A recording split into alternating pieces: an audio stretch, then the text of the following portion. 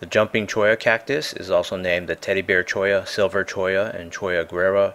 The genus is Opuntia, like so many other cacti around Southern California.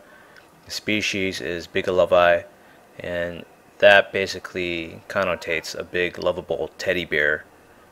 And for some reason, people once thought this was something you wanted to hug, at least from a distance, because it looks all fuzzy, but when you get close and examine it, you realize they're actually composed of these loosely, easily detachable stem segments that are all about 25 centimeters long on average. And there's one main trunk as you can see for most of these. They're covered in these 2.5 centimeter uh, white silvery spines that have microscopic vicious fish hooks on them. And once you get pricked or any other unsuspecting mammal that brushes into these just very lightly these are the fruits. And the stems will basically detach.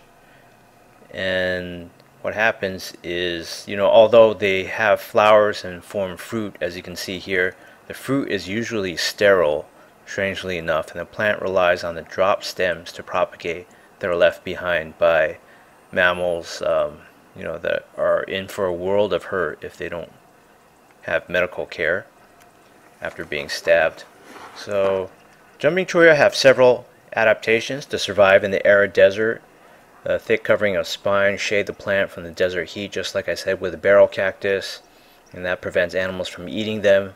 I don't think anyone wants to get near this thing. And the stems are separated into segments that store water and allow for photosynthesis ind independently. So um, even a strong wind can disperse these segments.